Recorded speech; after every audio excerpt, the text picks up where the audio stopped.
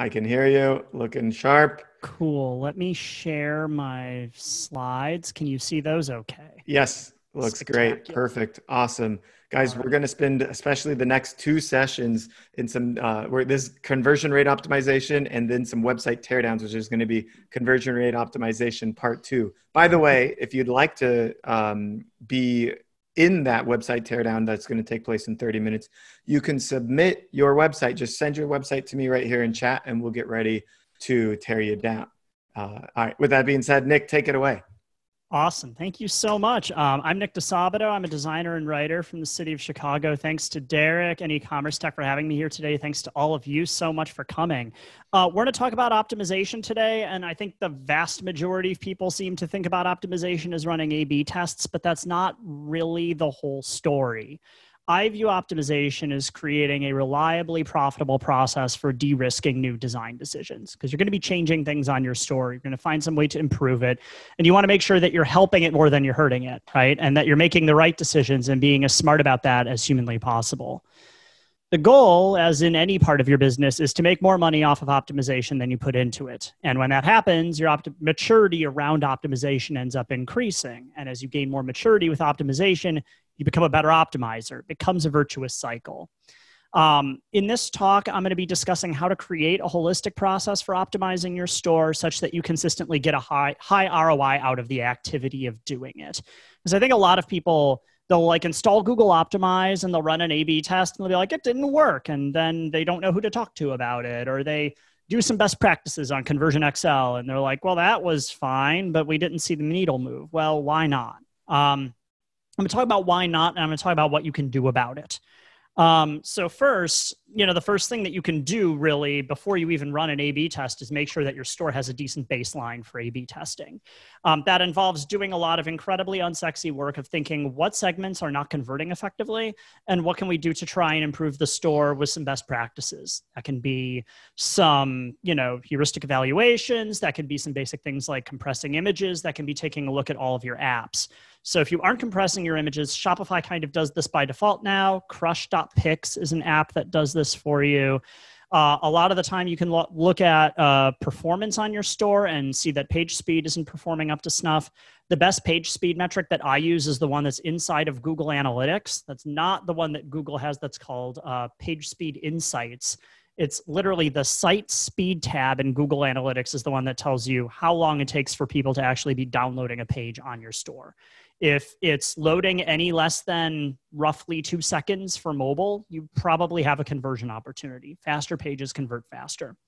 Um, and the fewer apps that you have installed, the faster your store will load. And site speed maps naturally to conversion rate, as mentioned. So you probably want to make sure that you're only running apps that you're actually using.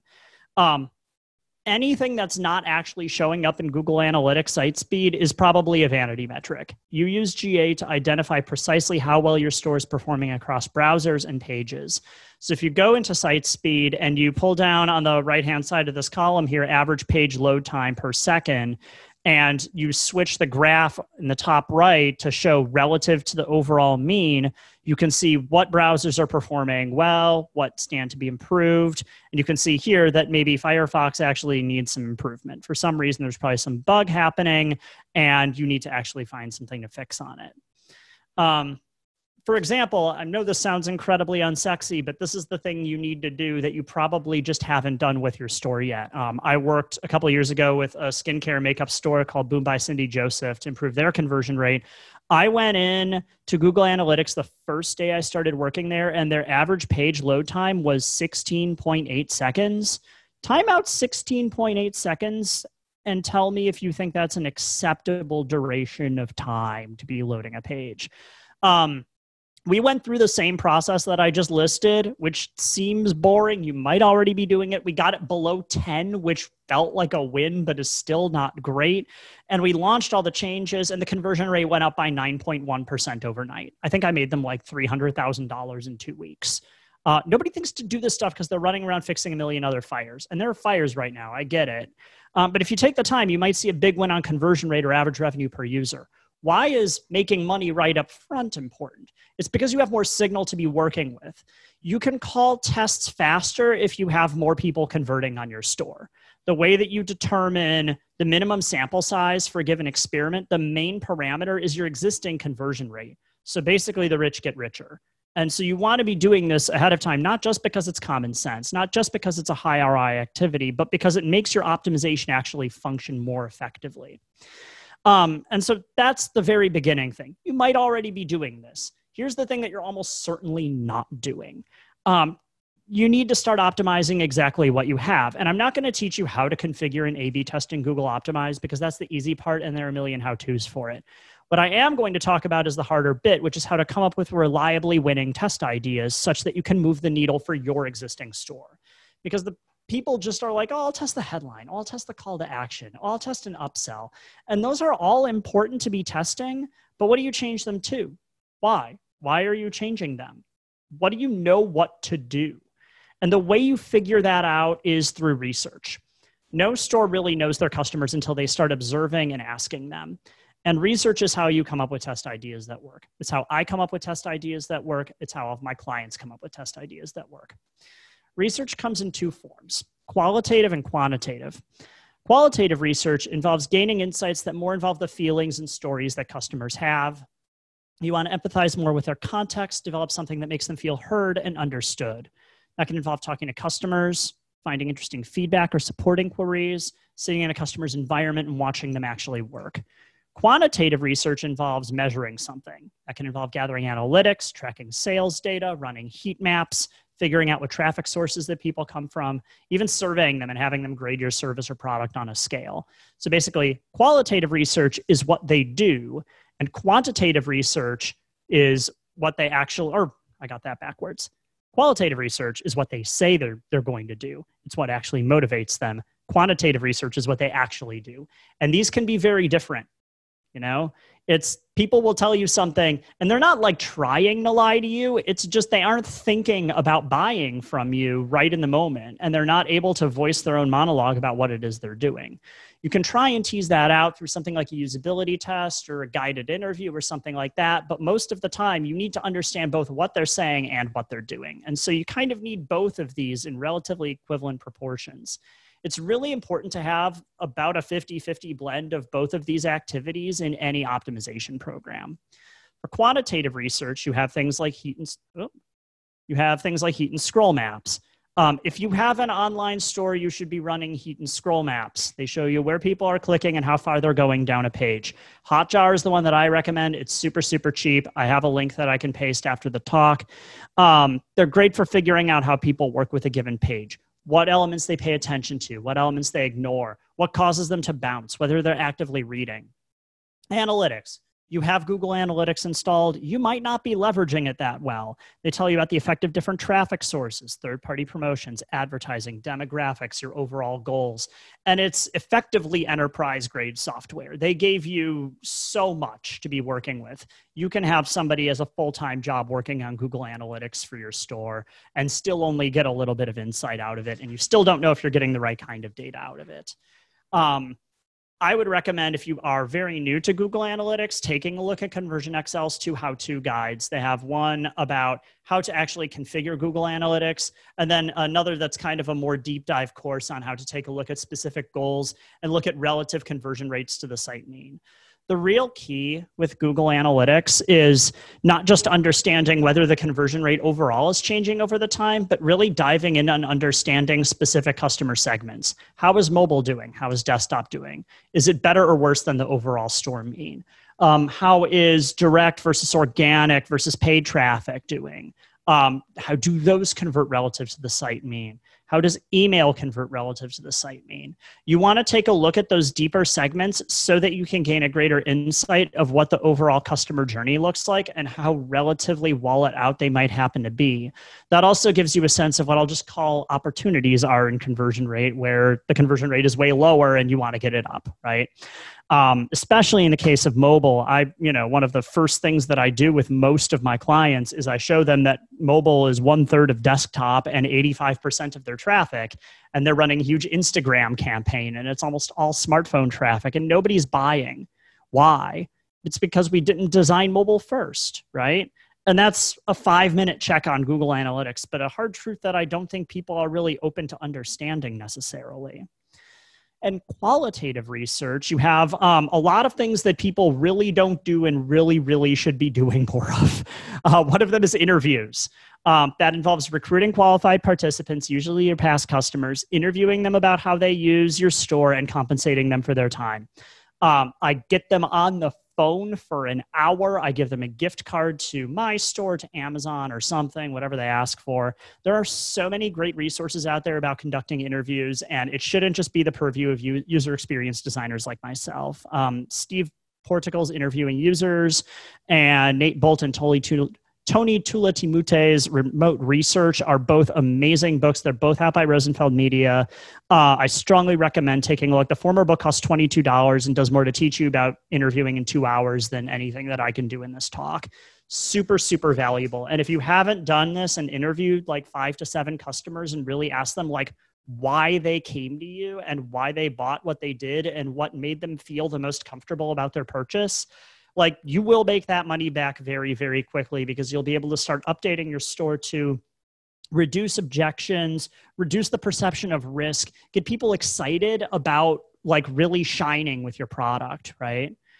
Next up is usability tests. Um, this one costs a little bit of money. It is so worth it though. If you go to trymyui.com or conversioncrimes.com, buy five tests.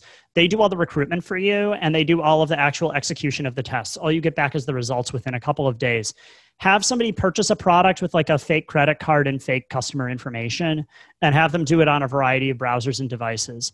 Third party usability testing is the absolute best thing that you can do to surface conversion killing usability issues. Um, as of press time, I believe five tests on Try My UI go for $350. If you don't make that back in a day, I would be very surprised if you have never gotten out of your head and tried to do this. Um, Post purchase surveys. There are a bunch of apps that do this for you. I sometimes just code like a little embed from SurveyMonkey on the thank you page if they're on Shopify Plus. Super, super useful for surfacing ongoing issues with the store. You ask, what held you back from purchasing today? Um, and then if they enter customer service stuff you have on the thank you page, like, hey, you need to email orders app da, da, da, to get your customer service inquiry handled, whatever. Um, you send any support inquiries there you mine the rest for customer service um, insights and understand exactly how to fix bugs. I fix so many bugs out of post-purchase surveys y'all. It is amazing. I use it. Sometimes i just copy and paste a post-purchase survey response and make it the h1 of the entire store and then the conversion rate goes up by 5% you're just listening and channeling back to your customers because they're probably not alone in their struggles. And sometimes you just get something that's like very universally resonant and like why you showed up to do this so those are just a few research activities. Once you have research together, you get data. You get the results of a um, of a set of interviews or of heat maps, or you took a look at Google Analytics. and You found something, right? You need to translate it into concrete decisions. Sometimes it's as easy as copying and pasting a post purchase survey and making it your H1, but most of the time you have to start guessing. And in designer parlance, going back to like the 80s, that process is called synthesis. And it's kind of a way of just making sense of how the world is working. You have some information, what do you do with it? It's a three step process. So, first, you kind of identify the problem. Perhaps it's easy to un- assess from a heat map or analytics. Like people are ignoring an element, people are beelining for an element, people are having trouble loading a given page on a certain browser. Um, perhaps it takes a little more effort to analyze what's going on. Either way, you identify a specific problem. Then you speculate on a reason as to why that problem might be happening. You don't know what that is, but you have to find a reason, right? Sometimes it's clear, like you found a bug. Okay, great, fix the bug. Congratulations.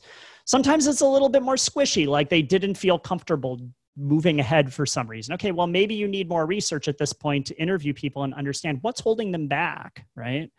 Either way, if you're not confident about the reason, go back to step one, figure it out, research further, more data, different methods, whatever it happens to be. And then step three, you improve the design. Um, so you can try and strike at the motivation for the problem, try and give a good reason. This is a case of super old client of mine. Uh, they were concerned that it was literally just the bootstrap theme and you were trusting your entire DNS with them.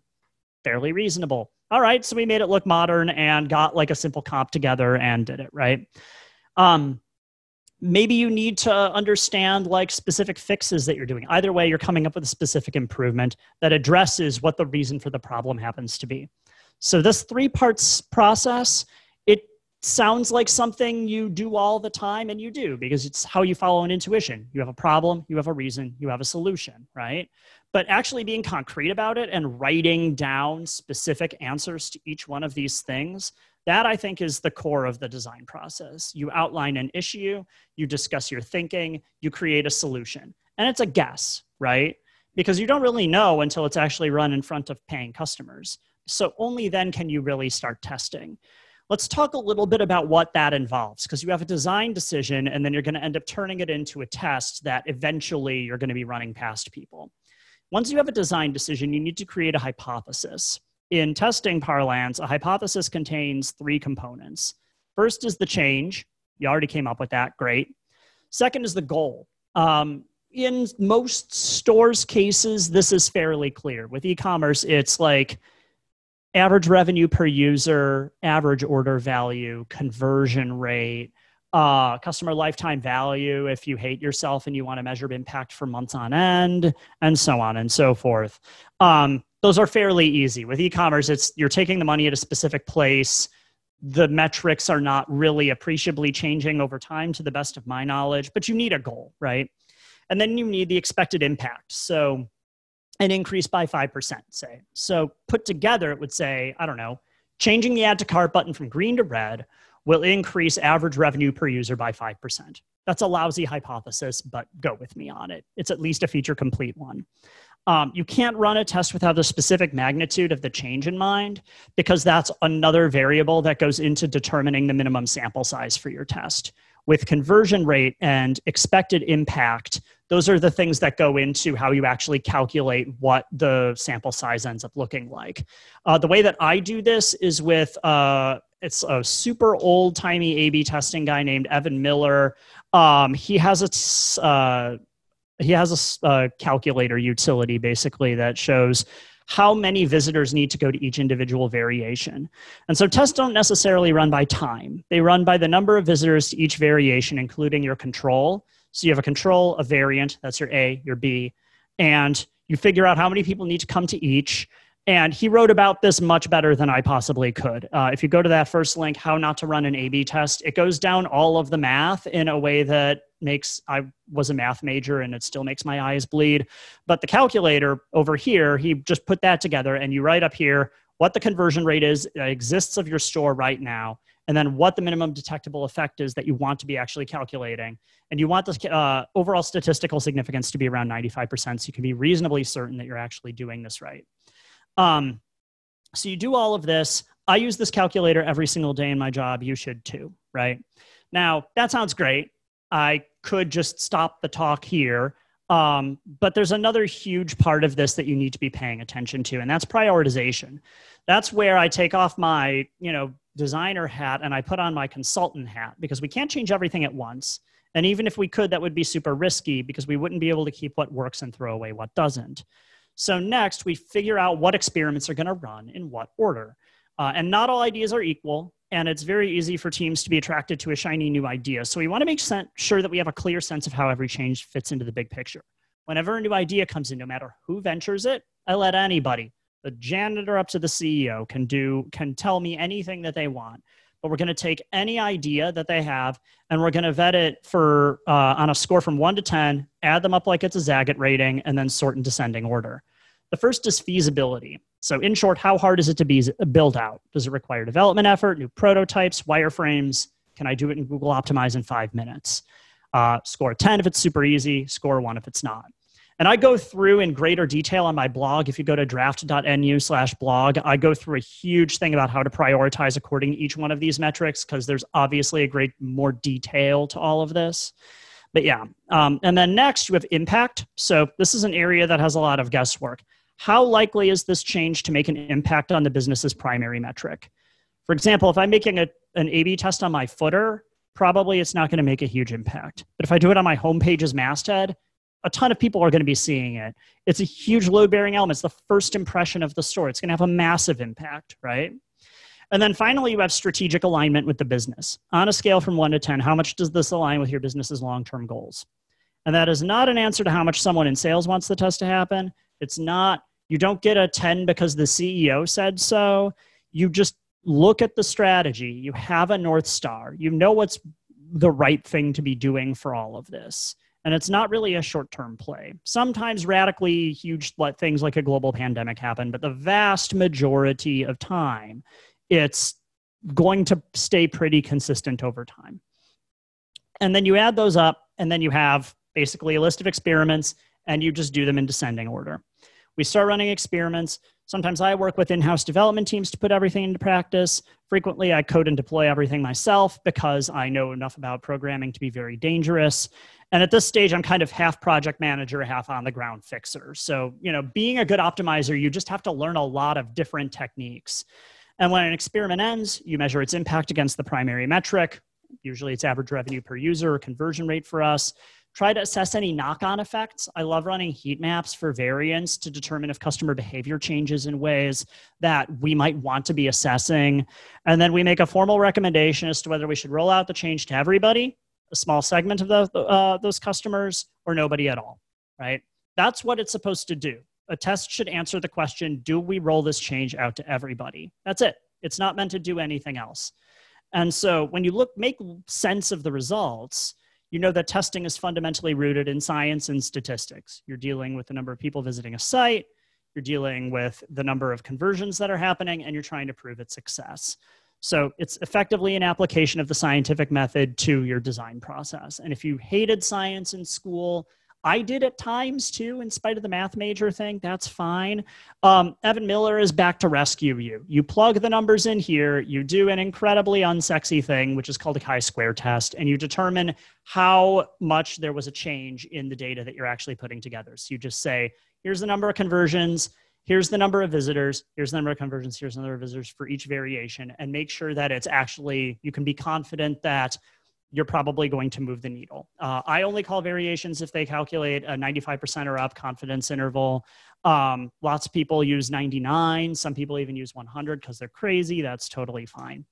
So I just whipped through in about 25 28 minutes of a brief summary of how to run A B testing and almost none of it actually talked about like building the literal a b test. It's all the process around the a b test. You need to create a rigorous process around it. And the best way that i found to do this is researching. And you think like oh nick d you could throw that away. You don't have to research. And that's true right? You could stab in the dark or settle internal debates. And i don't know like you might get lucky but then your test rate is probably going to hover around the industry average, which means about one in eight of all of your tests are going to significantly move the needle. And that's about accurate to all of e-commerce. Uh, my own success rate with tests that don't contain research is 18%. So I'm not even doing that great, right? Like, and I've run over 500 tests for over 40 clients. And I don't want to beat it by only that much, right? I want to beat it by that much. This is what happens when you research. Um, we have about a two thirds success rate. We've generated several million dollars in overall lifetime revenue for our clients. And you get to keep those wins, right? Like you could work with me and eventually, you know, get all of this. We part ways. You're still going to have an improved store after we're all done, right? Research informs test ideas. And as you keep testing, the goalposts change. You use tests to generate new ideas. So you're never really finished researching. Um, both research and testing should be proceeding into perpetuity. I usually research as tests are going on. Um, and if you want your business to get a solid ROI from optimization, I think you need to start from research first. It's the only way I found to get tests that reliably win. And they win pretty well. So, um, with that in mind, if you ever want to work with us, um, you can go to draft.nu slash revise, which is our big flagship offering. If you go, if you want to just take a 160 page dramatic reading of my job description and do it yourself, you can go to draft.nu slash value. It's my latest book called Value Based Design. It's a physical book. Uh, it's a good way to, I don't know, curl up before you go to sleep or something like that. Um, and with that in mind, um, I write letters about optimization in business every Tuesday. You can get them at this link. Um, and I'll be around to just answer questions and provide clarification, other facts and stuff in the chat after this. Uh, but yeah, that's it. Thank you all so much for listening. Thank you so much, Nick. You kept me so busy taking notes for you. um, I love it though because the speed it was perfect. Like information, information, information, and we took really great show notes on this. So if you guys aren't in the show notes doc, you can Uh, here, I'll share the link with you right now one more time in case you just joined us. Just bookmark that document and we'll continue to add show notes to it as we go.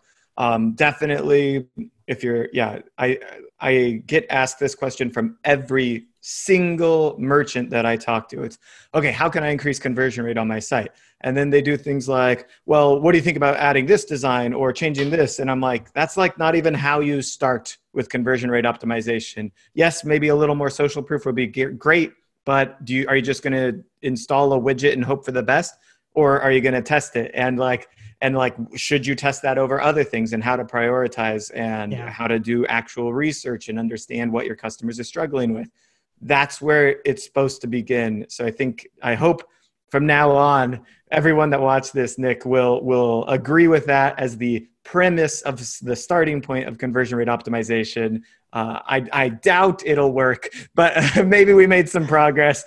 I hope I changed some minds today. I loved like last week, somebody came in, they were a prospective client. They're like, well, what should I change on my store? I'm like, I don't know. They're like, what? I'm like, I don't know. They're like, what do you mean? I'm, I'm, you're the expert. You've been doing this for years. I'm like, because I haven't figured out how your store operates and I, it's different for everyone. Yeah. What works for any one store worked for that store, not for you. That's it. I agree completely.